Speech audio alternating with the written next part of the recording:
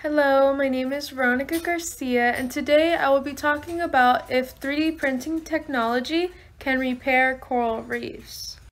3D printing is affordable and sustainable for the environment. The process is also efficiently fast.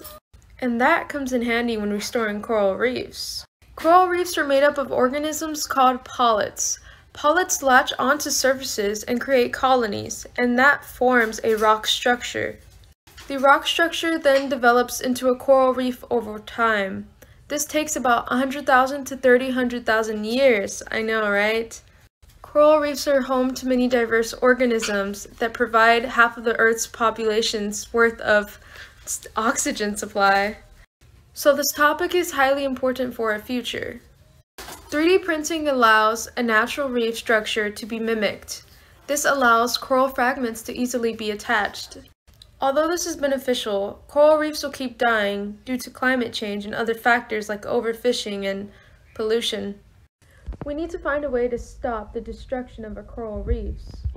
Restoring the reefs for now will buy us time until we can stop the climate change and overfishing and polluting. Hopefully, we can find a solution to that.